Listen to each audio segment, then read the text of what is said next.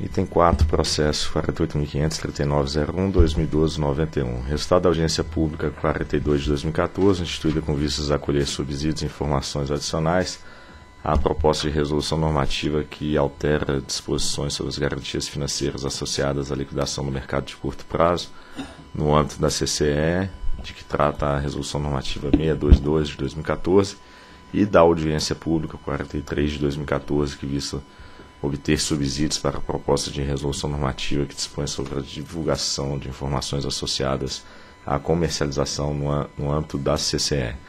Diretor relator, doutor José de Rosa. Em 13 de, de setembro de 2012, a ANEL deliberou a abertura da AP 7212 com vista a colher subsídio e propósito de aprimoramento na metodologia de garantias para a liquidação financeira do mercado de curto prazo no âmbito da CCE em 27 de 11 de 12, como resultado da AP, a ANEL deliberou pela abertura da AP 102 de 12, com vista a colher subsídio para aprimorar a proposta de resolução normativa que altera a metodologia de cálculo das garantias financeiras associadas ao mercado de curto prazo e estabelece critérios e condições para a efetivação de registro e contratos de compra e venda de energia no âmbito da CCE. Como resultado da AP 102, em 21 de 12, a ANEL decidiu aprovar a resolução normativa 531 de 13.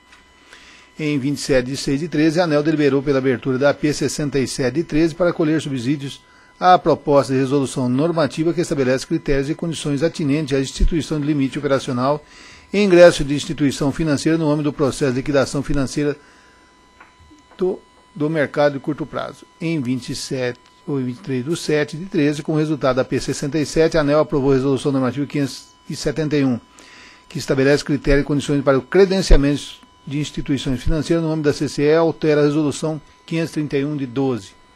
E, na mesma ocasião, deliberou para reabrir a P67 de 13 com início do prazo para envio de contribuições em 25 do 7 de 13, término 40 dias após a divulgação da lista de instituições financeiras credenciadas pela CCE, para atuar no processo de garantias financeiras do mercado de curto prazo e com realização de, re, de reunião presencial em data estimada de 20 dias após a publicação, após a divulgação da referida lista de instituição financeira. Em 4 de setembro de 13, a CCE solicitou prorrogação de 30 dias do prazo de divulgação da lista de instituições financeiras de que trata o, parágrafo 3 do artigo 2 da Resolução 571. Em 17 de 9 de 13, a ANEL aprovou a, prorrogação do prazo para que a CCE promover a divulgação das listas de instituições financeiras credenciadas para participação no processo de garantia financeira relativa às operações de compra e venda no âmbito do MCP.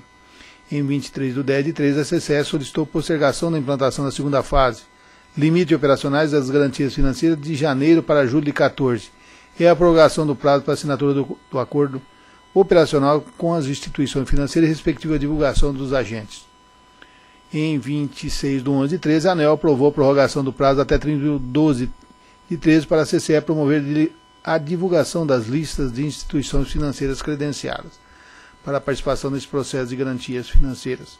Em 20 de 12 de 13, a CCE informou ter firmado em 17 de 12 os acordos operacionais com bancos Bradesco, BTG Pactual, Deutsche Banco, Itaú Banco, Safra e Santander, divulgado aos agentes no site da CCE.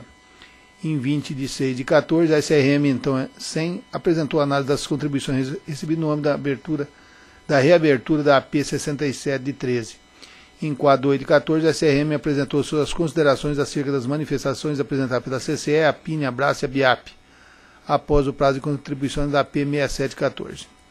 Em 19 de 8 de 14, com o resultado da P6713, a ANEL aprovou a resolução normativa 622, que dispõe sobre as garantias financeiras e efetivação dos registros validados de contrato associados à comercialização no âmbito da CCE e. A instalação da AP 42 e 43, ambos de 14, para colher subsídios de aprimoramento do regulamento das garantias financeiras associadas à liquidação financeira do MCP por meio de automatização do processo de homologação dos contratos e para aprimoramento dos mecanismos para divulgação de informações, respectivamente. Em 30 de junho de 15, a SRM apresentou análise das contribuições recebidas no âmbito das APs 42 e 43. E em 18 de agosto de 15, a ANEL decidiu, primeiro, suspender até a nova disciplina para a ANEL a exigibilidade do disposto do artigo 3 30 da Resolução 622 de 14, também decidiu até que se torne exigível a constituição de limites operacionais que trata a Resolução 622, os agentes da CCE proponentes ou habilitados à comercialização varejista devem constituir garantia financeira equivalente ao limite operacional mediante Primeiro, a contratação de carta fiança com prazo de vencimento 30, 60 90 dias, aportando mensalmente nova carta fiança com vencimento para 90 dias. Ou outros ativos financeiros aceitos e assegurados pelo agente de liquidação, desde que permita mesmo o sistema de limite operacional, notadamente a possibilidade de execução fracionada mensal. E também a constituição de garantia financeira nos termos do, referidos itens 2, que deve ser informado pelo agente de liquidação ACCE inscrito na reunião pública ordinária do dia 29 de 6 e 16, o processo foi retirado de pauta. É o relatório, tem uma apresentação técnica que será feita pelo, pelo Otávio, tá? da SRM.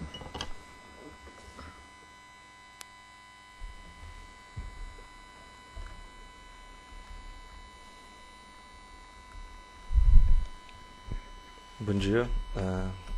Então, eu vou apresentar o resultado das análises de contribuições da, das audiências 42 e 43, que tratam da automatização do processo do, de homologação do registro de contratos e o mecanismo de divulgação de informações. É, o Dr. Jurosa já apresentou um relatório bem detalhado aí dos fatos. Eu vou só mencionar aqui, é, por último, o resultado da audiência 67, que apresentou uma proposta de estabelecimento dos limites operacionais e a definição de critérios né, para calcular o, o, risco associado às exposições financeiras no mercado de curto prazo de cada agente. Quando o fechamento daquela audiência, a, a à época se manifestou lá por meio das notas técnicas 63 e 74. É, entendíamos à época que o, a proposta inicial merecia alterações.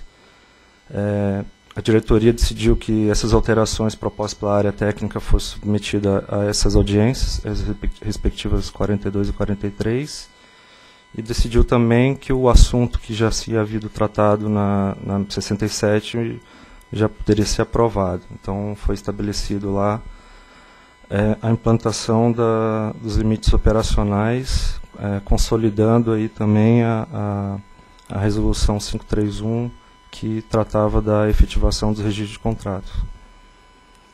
Então, é, a gente destaca aqui os princípios que foram adotados nessa, nessa alteração proposta no âmbito da 67, que, que, foi, que, que julgamos pertinente e inclusive já, já está consignada quando da aprovação da 622, é, era que o risco de mercado deveria ser avaliado pelos próprios agentes. É, uma vez que a, a opção de escolha é, numa relação bilateral, é, a escolha da contraparte é, é, é, de livre, é de livre opção. Né? Então, associado a isso, tem que estar a assunção da responsabilidade, vinculada à, à escolha da, da relação bilateral na, na, da contraparte. Então, também associada à questão do risco de mercado, na, na época lá, a proposta inicial era que se calculasse, que a CCE fizesse um cálculo da, do risco de exposição dos agentes no MCP. A ANEL decidiu por, por entender que os agentes que deveriam fazer essa avaliação. E vinculado a isso, é, entendemos também que, o, que deveria ser provido é, o maior incentivo à, à contratação prudente, à eficiência de maturidade do mercado. É, e o mecanismo que, que daria essa, esse incentivo seria é, aprimorar o que havia inicialmente é, aprovado por meio da 531, que é a homologação do registro em toda a cadeia de comercialização. Atualmente a, a resolução ela é restrita ao primeiro nível.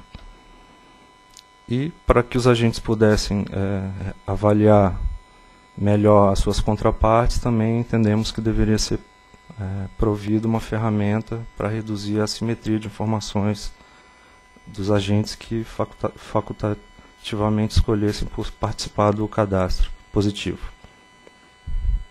Então, a título de ilustração, a gente faz o, o seguinte exemplo, é, considerando a, a, as regras vigentes.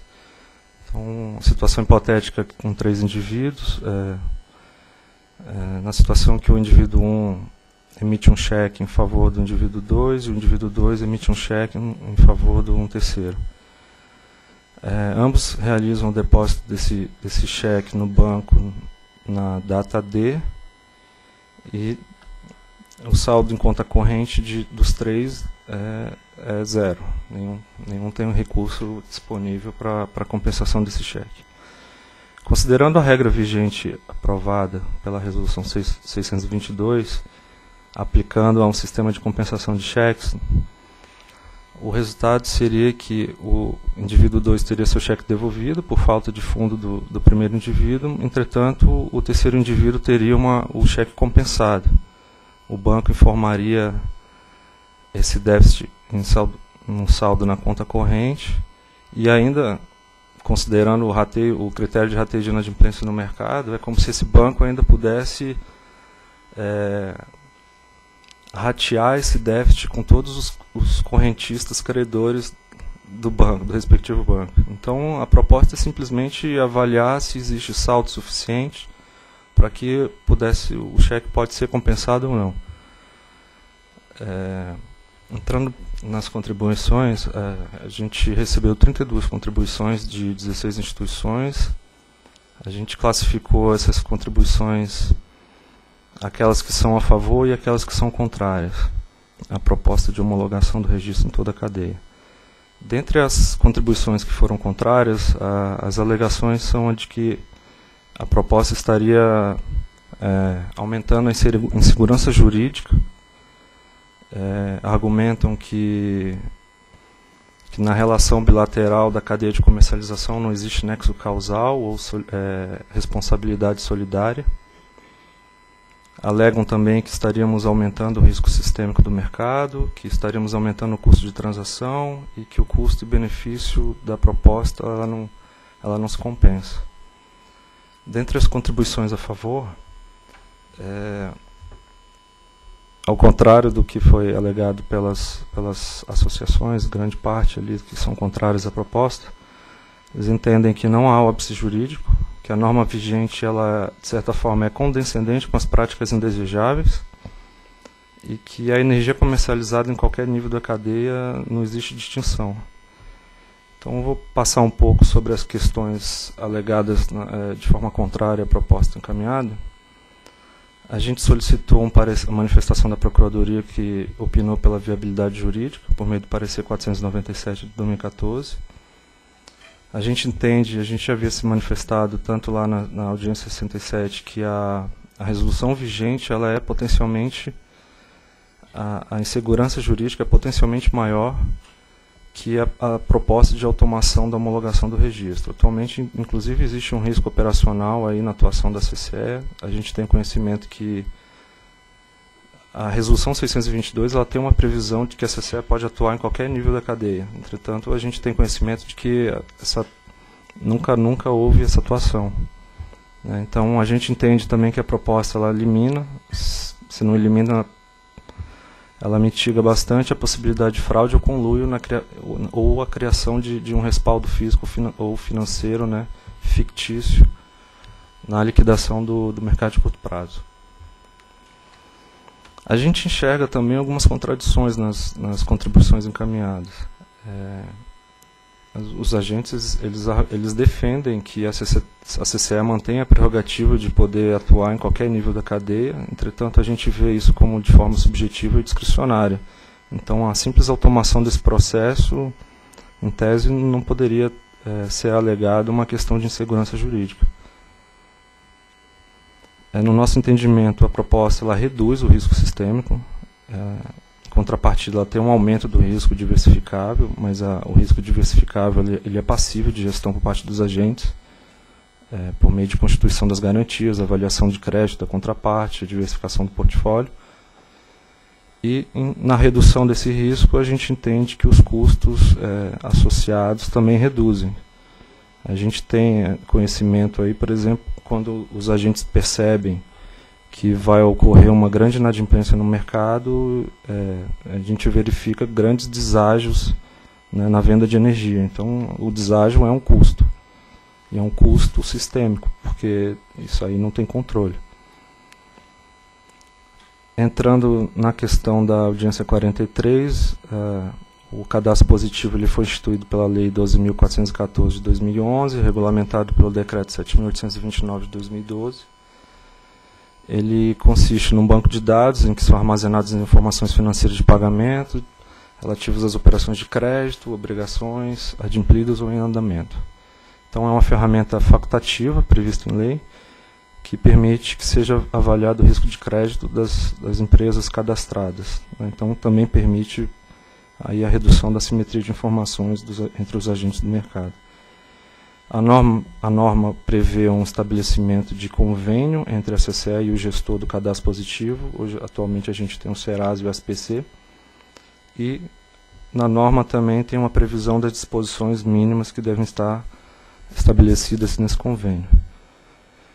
Não houve maiores é, contestações com relação a essa proposta, foram 27 contribuições de 10 instituição, instituições. É, basicamente, grande parte das contribuições já, já estavam previstas, está previsto na lei que o, o cadastro ele é voluntário. É, solicitaram que as informações que fossem é, disponibilizadas no cadastro fossem é, es escolhidas de forma individualmente. Havia uma previsão inicial de que a gente escolhesse um bloco de informações, mas a gente acatou a proposta de individualizar as informações que poderiam ser divulgadas. E solicitaram também que a ANEL ou a CCE fosse a gestora do banco de dados. A gente não acatou porque a gente entende que os, os, as empresas, o Serasa ou o SPC, é, já possuem bastante expertise aí no, no mercado e também existem informações que não são só de comercialização, então a gente, a gente não acatou essa proposta. Obrigado. Obrigado, Procuradoria. Tratam-se de resultados de duas audiências públicas que foram objeto de análise da Procuradoria por meio dos pareceres 497 de 2014 e 314 de 2015. O parecer 497 opinou pela possibilidade jurídica da não efetivação do registro de contratos se estender a toda a cadeia de comercialização. A proposta de normatização apresentada não contraria as regras, as regras postas sobre laço na comercialização de energia elétrica ao contrário, a proposta fortalece a garantia de que a comercialização do insumo estará sempre lastreada por energia existente, aproximando a regulação das diretrizes constantes do artigo 2 inciso 1 do Decreto 5163 de 2014.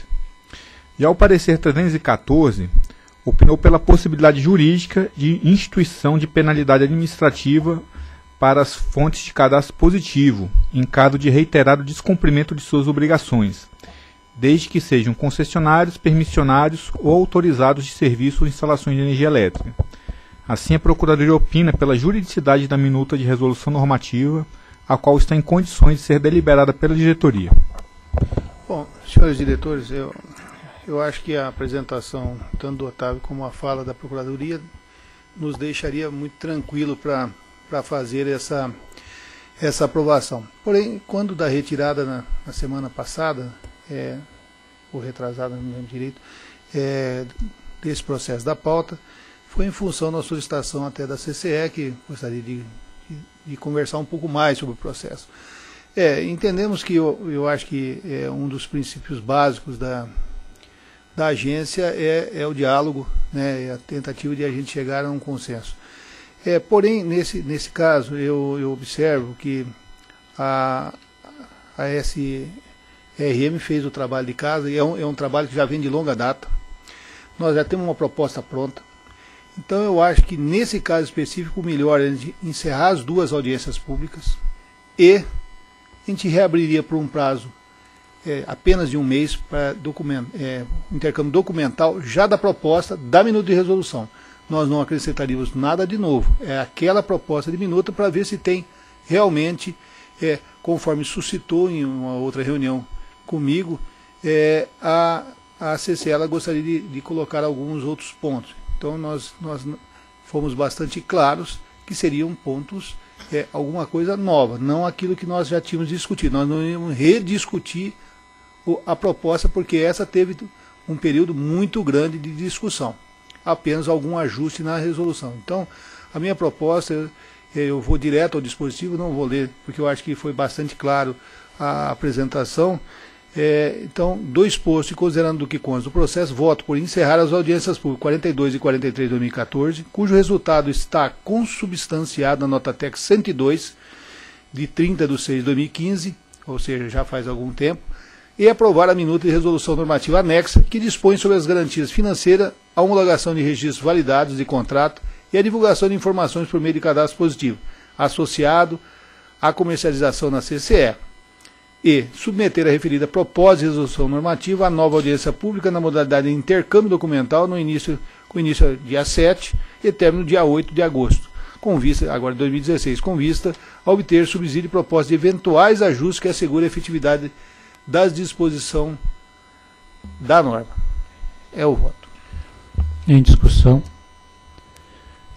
Aqui, só uh, um detalhe aqui do encaminhamento, porque eu entendi então que nós estamos submetendo essa versão da resolução à audiência pública nesse intercâmbio documental, como você bem explicou. Eu acho que talvez não fosse o caso, então, de aprovar a minuta de resolução, é de submeter a minuta de resolução. É. Certo? É, porque, na verdade. Claro, na medida é, que nós estamos submetendo, nós estamos de acordo isso, com ela, né? Mas é, não. É porque. aprovar parece é, que ela está valendo. É, é porque ela é o resultado. É, tá certo. É porque ela é o resultado da, das duas audiências públicas. Mas tudo bem, é, é, é, submeter, é submeter mesmo. Uhum. Eu acho que é melhor submeter é, a minuto de resolução, é isso mesmo. Uhum. Ok. Em votação. Eu voto com o relator. Também voto com o relator. Também acompanho o relator. Também voto com o relator. Proclamo então que a diretoria decidiu por encerrar as audiências públicas 42 e 43 de 2014. O resultado está consubstanciado na nota técnica 102 2015 SRM de 30 de junho de 2015 e submeter a minuta de resolução normativa anexa que dispõe sobre as garantias financeiras e homologação dos registros validados de cadastros e a, divulgação dos, das informações por meio de cadastro positivo associado à comercialização é, na CCE.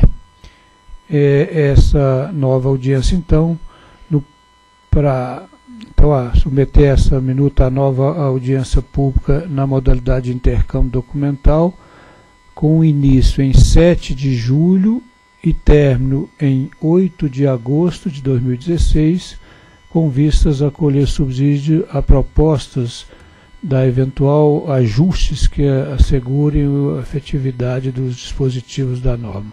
Como foi bem esclarecido, está submetendo então objetivamente a minuta de resolução que foi proposta pela área e com a nota técnica mencionada.